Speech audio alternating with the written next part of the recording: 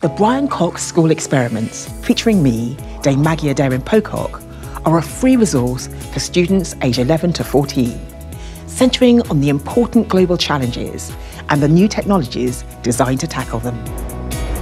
In this latest instalment, we explore the topics of plastics and sustainability, robotics, and green energy.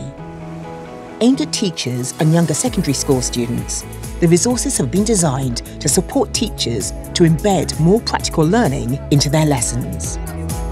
For each, there is a video demonstrating a simple classroom experiment to introduce the topic, accompanied by ready-to-use lesson notes and worksheets to download. These are followed by videos produced for students showing real-world science being done in research and industry and career opportunities available to them, now and in the future.